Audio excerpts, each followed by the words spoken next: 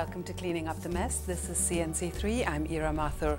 Our guest today is Canada's High Commissioner to Trinidad and Tobago, Her Excellency Karen McDonald. Now, Canada's systems are often used as models for action in TNT, this partially because of our common colonial heritage. We share a language, an English legal system, a vibrant Caribbean diaspora inhabits Canada, and aid and investments apart, we enjoy a close diplomatic friendship. But before we start the interview, here's a recap. We discovered on this show in recent months that we're among the most polluted small island states in the world. And a tiny island state like Barbados recycles over 70% of its waste, while we recycle next to nothing. Our Point Lisas industrial estate is largely unregulated by the EMA. Fish in the water nearby have developed cancerous lesions. Streets of people nearby have got cancer. And we have no idea how many toxins enter our water and air every day.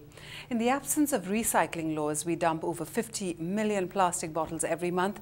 We look forward to the beverage bill being laid in Parliament by the Environment Minister because when these bottles are exposed to heat, they produce among the most toxic substances that exist to man. Two of our dumps are overflowing and need to be shut down as they're polluting our water table and contributing to serious illnesses. Our government is in the process of implementing a waste disposal system based on a plan developed in Nova Scotia, which means we need not reinvent the wheel.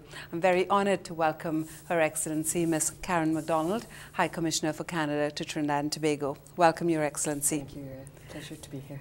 My first question to you is that the first step towards creating an environmental uh, consciousness is consensus between government and the people that this is what they want.